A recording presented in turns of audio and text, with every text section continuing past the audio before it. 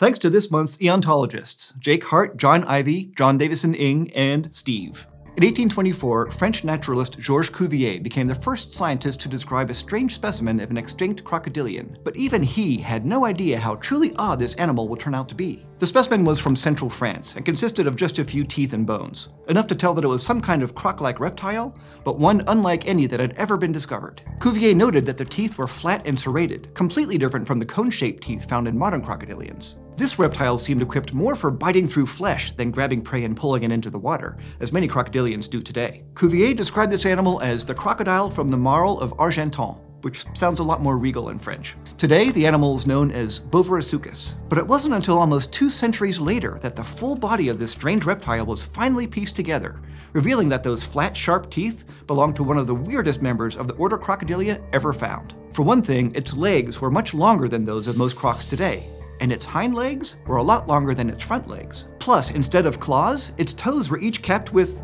hooves, much like those found in early horses at the time. So, yeah, there once was a crocodilian with hooves that could run down prey on land, and some researchers think that it had another even stranger ability, although others aren't so sure. Now, how did this living nightmare, this crocodile from the marl, come to evolve? Basically, it's the product of a whole lot of family competition.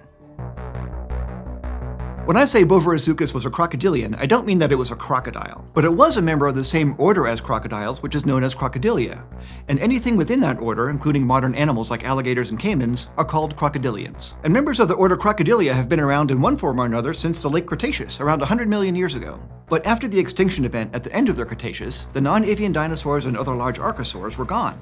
And that's when crocodilians really began to diversify and flourish, taking on many of the niches that those animals had left empty. One such group of enterprising reptiles was the now extinct family known as Planocraniidae, a group of crocodilians that are characterized by living mostly on land instead of in the water, and having those strange blade-like teeth. Planocraniidae first showed up in the Paleocene epoch about 61 million years ago, starting with a species from China known as Planocrania hengdongensis. But the family soon spread and diversified, and by the middle of the Eocene epoch, around 50 million years ago, its members could be found running around Germany and North America, including the most widespread of them all, Boverisuchus. No matter where it lived, Boverisuchus wasn't usually the only crocodilian around and that might have been one of the driving evolutionary forces that turned it into the nightmare fodder that it became. After all, when a lot of carnivores are in the same place, it creates competition. And when that happens, sometimes you have to do something a little different to set yourself apart in order to survive. A good example of this phenomenon is recorded in the coal-bearing layers of the 48 million year old fossil site in Germany known as Geiseltal. This layer of swampy sediment preserves the bodies of four different genera of crocodilians, in addition to Boverisuchus. There was Asiatosuchus, which was nearly 3 meters long, the medium-sized Diplocynodon, and the tiny pug-faced Allognathosuchus at just over half a meter long. Studies of the teeth and skulls of these crocs showed that each genus had adapted to its own ecological niche. Asiatosuchus, for example, was the biggest and ate large fish and sometimes ambushed mammals that came to drink from the swamp. But Diplocynodon ate small fish and frogs, and Allognathosuchus was more likely eating small invertebrates like crayfish. But all three of these crocodilians were aquatic, or at least semi-aquatic. They had short legs and long fin-like tails. They weren't built for running after prey on land. And there were some predators on land, but not nearly as many as you might expect. 48 million years ago, bears, cats, and dogs hadn't evolved yet, which means that a large niche for a predator had been left empty, and the land was full of potential prey, from big terrestrial birds to little dog-sized horses. So any crocodilian that could take advantage of that wide open niche on land would have a better chance of thriving, especially when there are already three other kinds of crocodilians patrolling the waterways. Okay, but then how did Boverisuchus come to fill that niche? How did its ancestors become this running razor-toothed predator? Well, the fossil record doesn't really help us there. In the United States, Boverisuchus shows up fully formed and ready to run in the early Eocene. It appears in the fossil record nearly simultaneously about 55 million years ago, in Texas, Wyoming, and Utah, before spreading to Europe. And there's no sign of the ancestor that would eventually lead to Boverisuchus but we could find clues to its origins by looking at some of its modern relatives. Because the fact is, not all modern crocodilians are bound to the water. Some of them still do hunt on land, like one known as the smooth-fronted caiman. This caiman isn't closely related to Boverisuchus or the other planocraniids,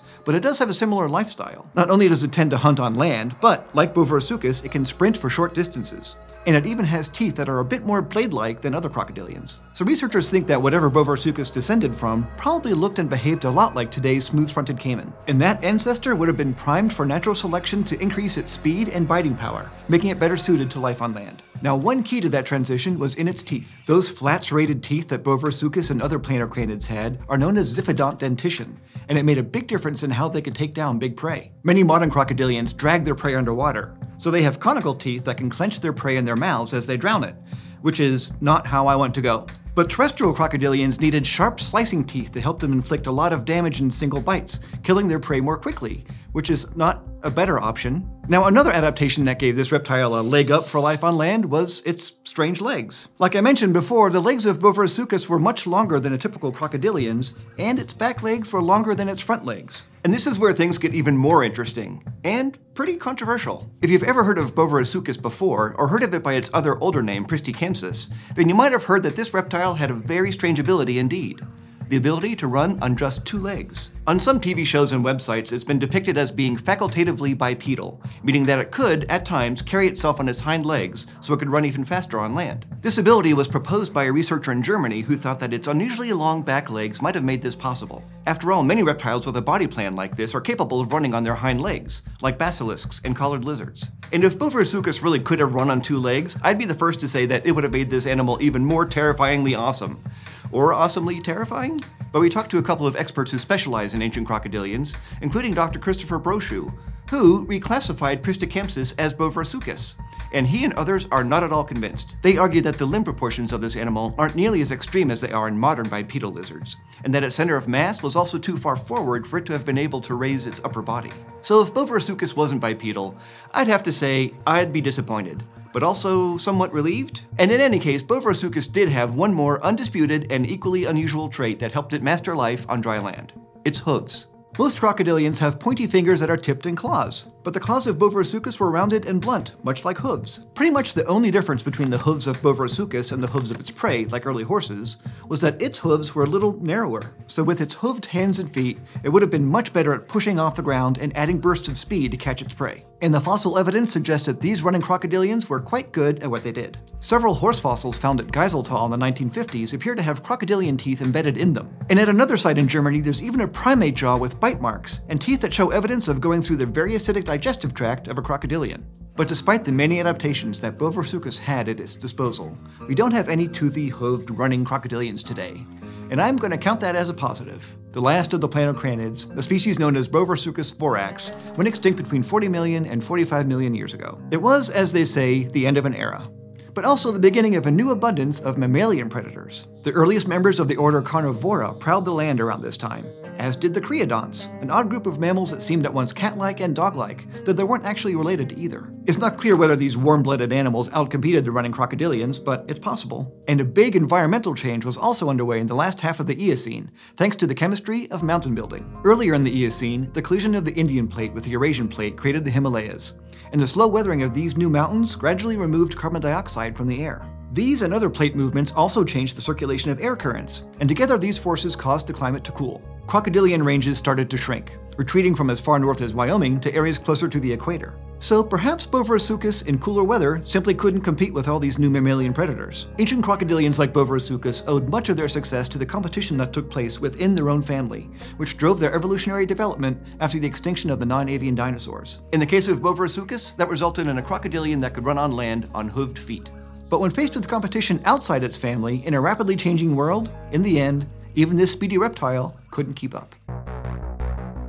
Thanks for joining me today in the Konstantin Haza studio. And you might notice that I am wearing our first ever Eon shirt, complete with pocket. And you can find them at dftba.com. The link is in the description. Now, Boverisuchus was a fascinating reptile, but you haven't seen anything until you've learned about the drepanosaurs and the other strange reptiles that were unique to the Triassic. And you can do that right here.